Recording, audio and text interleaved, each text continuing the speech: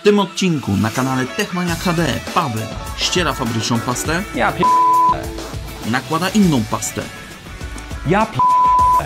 przycina odręcznie termopad, Ja pi...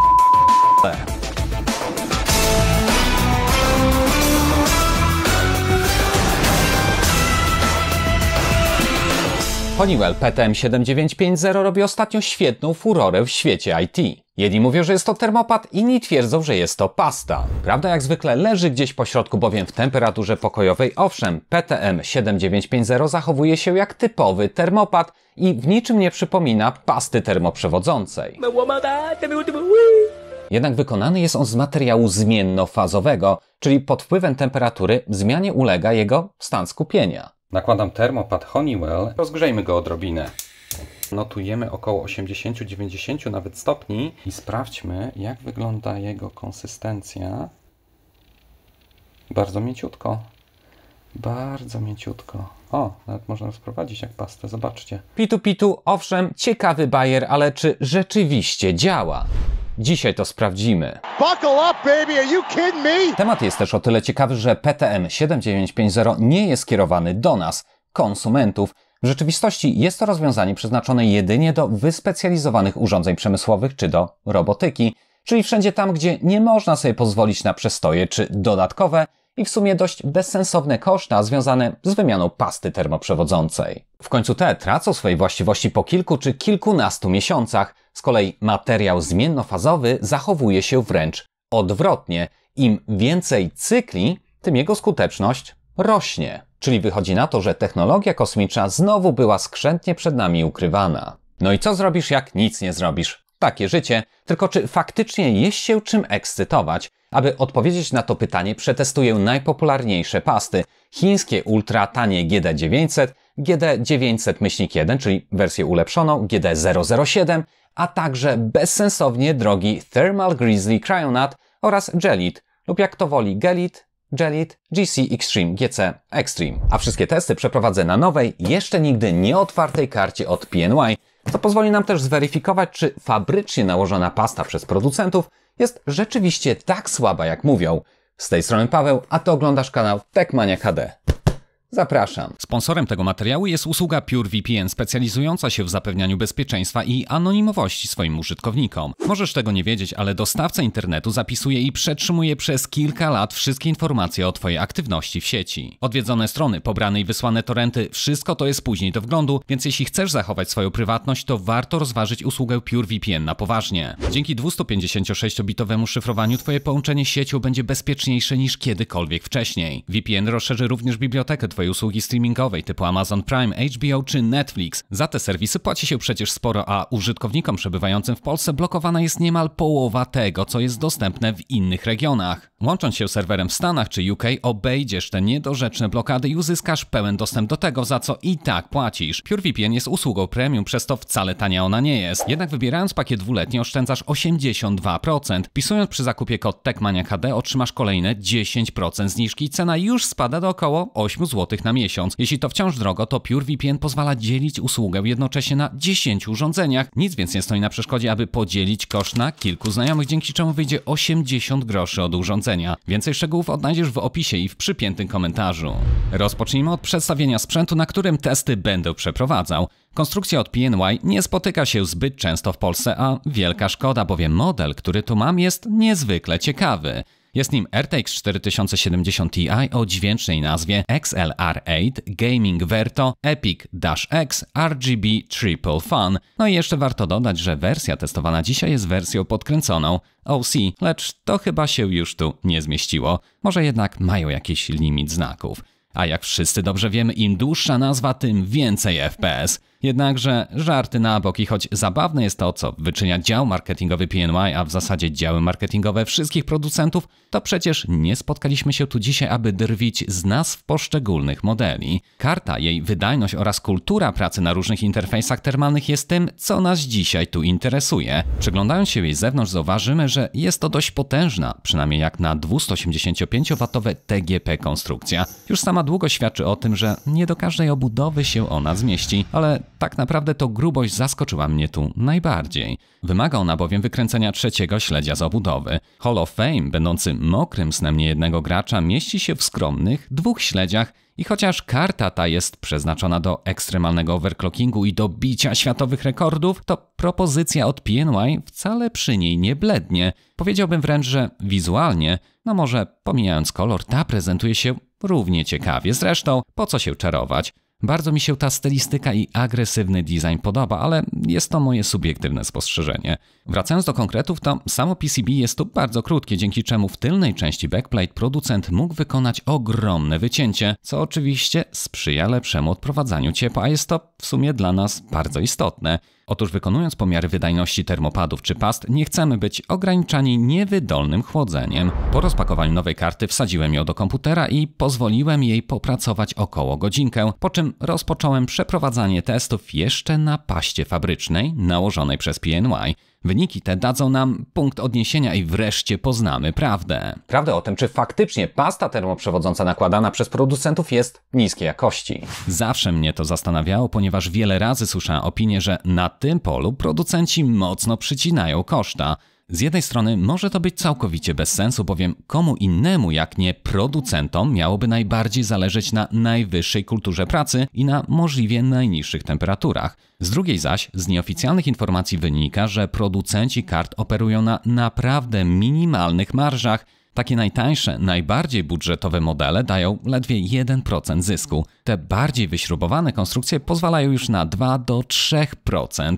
Biorąc pod uwagę koszty operacyjne, marketing, support czy o zgrozo, ewentualne zwroty, to producenci wcale nie mają łatwego żywota i jeżeli stosując niższej jakości pastę termoprzewodzącą oszczędzą powiedzmy 1 dolara na karcie, to siłą rzeczy sprzedając milion kart oszczędzą no ile? Milion dolarów. Proste. Tak więc przyjrzyjmy się paście zastosowanej przez PNY w tejże sztuce. Chyba nikogo nie zdziwi fakt, że ta wygląda świeżo. Z numeru seryjnego wynika, że karta została wyprodukowana 28 lutego 2023 roku, czyli trochę ponad dwa miesiące temu i przepracowała jak do tej pory nie więcej niż dwie godziny. Zawsze lepiej dać odrobinę więcej pasty niż za mało i tutaj też obserwujemy właśnie taką tendencję, lecz nic nie szkodzi. Wystarczy delikatnie zebrać nadmiar przy pomocy suchego ręcznika kuchennego, zarówno z odpromienika, jak i z samego procesora.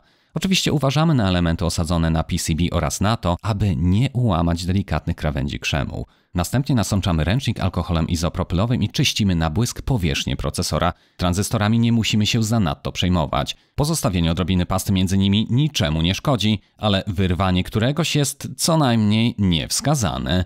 Zacznijmy od nałożenia najtańszej pasty z tego zestawienia. Mowa oczywiście o GD900. Taką ogromną tubę kupicie za śmieszne pieniądze. Aktualne ceny jak zawsze odnajdziecie w opisie poniżej. Jej koszt przynajmniej jeszcze niedawno wynosił 36 groszy za gram i tak porównamy ją później do Thermal Greasy Cryonaut kosztującą około 39 zł za gram. Skoro cena jest 107 razy wyższa, to i czy wyniki będą 107 razy lepsze? No, to się jeszcze okaże. Zdecydowałem się na manualne rozciągnięcie łopatką pasty po powierzchni procesora. Ten sposób, przynajmniej w przypadku kart graficznych, jest właśnie najbezpieczniejszy. Korzystając ze sposobu na ziarnko grochu, pasta zwykle nie dochodzi do rogów. W procesorach komputerów desktopowych nie ma to tak ogromnego znaczenia, bowiem rdzenie, jak i całe I.O. układu znajduje się blisko samego środka i na krawędziach IHS już w zasadzie nic nie ma. Jedynie zwiększamy powierzchnię odbioru energii cieplnej. W przypadku GPU rdzenie znajduje się na całej krzemowej powierzchni. Pozostawienie nawet małej krawędzi nieprzykrytej może znacząco podnieść temperaturę hotspotu, co potrafi doprowadzić do mocno niezrównoważonej pracy wentylatorów, a czasem nawet uszkodzenia karty graficznej, więc tutaj naprawdę słuchajcie, fuszerki nie uprawiamy. Pasty bazujące na silikonie mają dość rzadką konsystencję, dzięki czemu wdzięcznie się one rozprowadzają. GD900 jest może aż nadto płynna, 900-1 jest już odrobinę bardziej gęsta, z kolei GD007 przypomina trochę krem karpatkowy, czyli jej gęstość jest już konkretna, ale dając odrobinę więcej czasu, wciąż możemy dokładnie rozprowadzić cieniutką warstwę na powierzchni układu. Gelit również załapuje się do pas, które przyjemnie się nakłada. Thermal Grizzly Cryonaut z kolei jest bardzo suchy i takie rozciąganie łopatką, zwłaszcza gdy pasta zaczyna się rolować, należy do mniej przyjemnych czynności. Oczywiście można ją wygrzać w gorącej wodzie przed nakładaniem, ale wygoda użycia i tak jest już sporo niższa. Jednak porozmawiajmy teraz o termopadzie Honeywell, bo to w końcu on stanowi tu największą ciekawostkę. Pierwszy problem polega na trudności w znalezieniu oryginalnego produktu. Jest mnóstwo podrób i można łatwo się naciąć. Mnie udało się kupić oryginał na AliExpress i linki do wersji z oraz bez narzędzi zostawię w opisie. Choć te nie były mi do niczego potrzebne, to chciałem sprawdzić, czy narzędzia te są cokolwiek warte i śrubokręt, owszem, nadawałby się on do rozebrania karty. Pędzelek z kolei średnio do czegokolwiek potrzebny, a te, powiedzmy, czapeczki są za małe na europejskie palce i po minucie czy dwóch poczułem rowienie, a krew przestała mi dopływać do opuszków. Jeżeli nie macie alkoholu izopropylowego, to chusteczki nim nasączone mogą się Wam akurat tu przydać. Musicie pamiętać o tym, że pad jest bardzo delikatny i łatwo można go uszkodzić. Następnie należy dokonać pomiaru rdzenia, uważając, aby niczego nie uszczypnąć ani nie ukruszyć. Kolejno przenosimy wymiary na pad, zaznaczamy, kroimy, zdejmujemy folię zabezpieczającą z jednej strony i kładziemy, uważając, aby żaden kurz, ciało obce czy tłuszcz z naszych palców nie pozostał na której z powierzchni. No i co? Wyszło fatalnie. Wybaczcie, ale nagrywanie procesu wycinania zwisając na wpół wygiętym nad stołem zaowocowało takim fakapem. Przycięty pad okazał się być za krótki, ale tak to jest jak człowiek patrzy się w kamerę zamiast na to, co robi. Już poza okiem kamery przyciąłem pad raz jeszcze, tym razem wyszło dobrze. Teraz możecie zaobserwować moment podnoszenia drugiej warstwy folii ochronnej i tu również należy być super ostrożnym. Nie chcemy przecież dziubnąć ostrym narzędziem delikatnego krzemu procesora, ani uszkodzić termopada. Nawet jeżeli wyjdą nam fale, to przy pomocy plastikowej łopatki można spróbować je wyprostować. Przykładając odpromiennik cieplny, czyli radiator bezpośrednio do tak ułożonego pada, mogłoby to spowodować zagięcie fałd, dając tym samym nierówny docisk. Niby temperatura go powinna wyprostować, ale ja wolę to delikatnie pogładzić i wypchnąć ewentualne pęcherzyki powietrza spod jego powierzchni. Jak sami widzicie, zabawa z termopadem Honeywell jest po prostu mniej praktyczna. Można sobie troszkę pomóc utwardzając go w lodówce, ale rzadsze pasty, przynajmniej pod kątem wygody, zdecydowanie tutaj wygrywają. Teraz pozostaje tylko wsadzić piękną kartę do komputera i dokonać ostatecznych pomiarów, a wyniki tych musimy koniecznie omówić, bo na pierwszy rzut oka wydają się one wcale nie zaskakiwać, ale spokojnie, jak zawsze diabeł tkwi w szczegółach. Po pierwsze, fabryczna pasta termoprzewodząca wcale zła nie jest. To, jak będzie się ona sprawowała po roku czy dwóch, to już zupełnie inny temat, ale jednocześnie udowodniliśmy tutaj to, że wymiana świeżej pasty na inną świeżą pastę nie ma żadnego sensu. Idąc dalej, to choć pasty typu GD900 i GD900-1 są delikatnie gorsze od tej fabrycznej, to wcale takiej tragedii nie ma. W końcu pamiętajcie, że są to super tanie wynalazki, kosztujące mniej niż woda butelkowa nad polskim morzem. Jasne, mamy ten jeden stopień więcej na hotspocie, ale z moich poprzednich, blisko 8 czy 9 miesięcznych testów wynikało, że GD900 praktycznie nie wysycha i nawet po dłuższym okresie wciąż zachowuje wysoką sprawność. Odświeżenie karty kosztuje więc kilkanaście groszy i na dwa lata z palcem w nosie powinno wystarczyć. Z kolei GD007 zaskakuje w negatywnym tego słowa znaczeniu. Jest to najlepszym dowodem na to, że współczynnik przewodności odgrywa tylko częściową rolę. Konsystencja oraz to, jak dobrze pasta jest w stanie wypełnić mikroskopijne nierówności obydwu powierzchni jest równie istotne i dlatego nie powinniśmy nigdy patrzeć na samą wartość wyrażoną w watach na metr Kelvin, ale na całościowy wynik. Jellit jest tworem, który stosuje już od co najmniej 15 lat. Jest ona wielokrotnie droższa niż pasty marki GD, ale też wciąż dwa razy tańsza niż Thermal Greasy Cryonaut. Jellit notuje blisko 2 stopnie mniej na GPU i 3 stopnie lepszy wynik na hotspocie względem droższego rywala. Pewnie się zastanawiasz, dlaczego tak się dzieje, skoro Cryonaut ma 12,5 W na metr Kelvin, a Jellit tylko 8,5. Przypuszczam, że i tu rzadsza konsystencja gelida pozwala lepiej wypełnić mikronierówności, a tym samym wydajniej transferować ciepło względem twardego i suchego misia Grizzly. No i tym samym dochodzimy do termopadu Honeywell. Wykonałem dwa pomiary. Pierwszy rozpocząłem na świeżo nałożonym padzie. Oczekałem jedynie 10 minut po uruchomieniu systemu, aby wszelkie możliwe procesy w tle nie popsuły nam wyników. No i wychodzi na to, że jakaś czarna magia rzeczywiście się tu wyczynia. 66,3 stopnia Celsjusza to najlepszy wynik jak dotąd. Hotspot też ma się całkiem, całkiem. Jednakże Jellit wypadł tu lepiej. Nim przejdziemy do wyników po pełnym dopasowaniu się pada, czyli po kilku dniach, spójrzmy jeszcze na prędkości obrotowe wentylatorów. Rzeczywiście uzyskaliśmy zarówno niższe temperatury, jak i cichszą pracę. Doprawdy fajnie, lecz aby termopad ten osiągnął pełnię swojej wydajności, podobno potrzebuje on dobrze się wygrzać i kilkukrotnie schłodzić. Stety lub niestety, oprogramowanie układowe PNY w parze z tak ogromnym radiatorem i lekkim przelotem nie pozwoliło karcie nigdy przerzucić 71 stopni i to nawet z zatrzymanymi wentylatorami w obudowie. Przy pomocy MSI Afterburner pozwoliłem sobie więc zablokować prędkość wentylatorów na samej karcie na minimum, czyli na 30%. Tak troszkę ją podsmażyłem na ponad 83 stopniach, aby pad w miarę możliwości jak najlepiej się dopasował, no i ponowiłem testy, a oto wyniki.